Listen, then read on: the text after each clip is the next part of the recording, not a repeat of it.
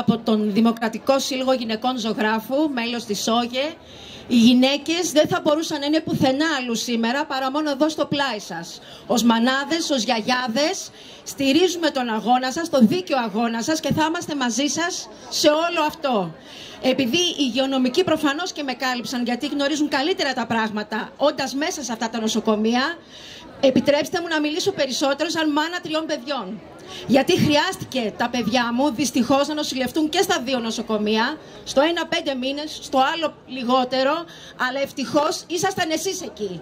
Ευτυχώς ήσασταν στο πλάι μας. Ευτυχώς μας στηρίξατε. Κάνατε τα παιδιά μας καλά.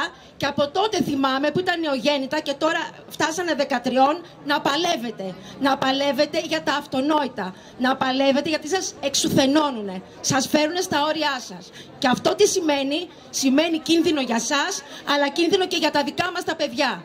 Αυτό λοιπόν δεν έχει καταλάβει η κυβέρνηση και όλες οι προηγούμενες κυβερνήσεις που ακολούθησαν τις, πολιτικές, τις αντιλαϊκές πολιτικές Ευρωπαϊκής Ένωσης. Ότι εδώ έχουμε έρθει για να παλέψουμε για δημόσια δωρεάν υγεία. Έχουμε έρθει για να παλέψουμε για ό,τι πιο ιερό έχουμε. Για τα παιδιά μας. Και δεν πρόκειται να σταματήσουμε ποτέ.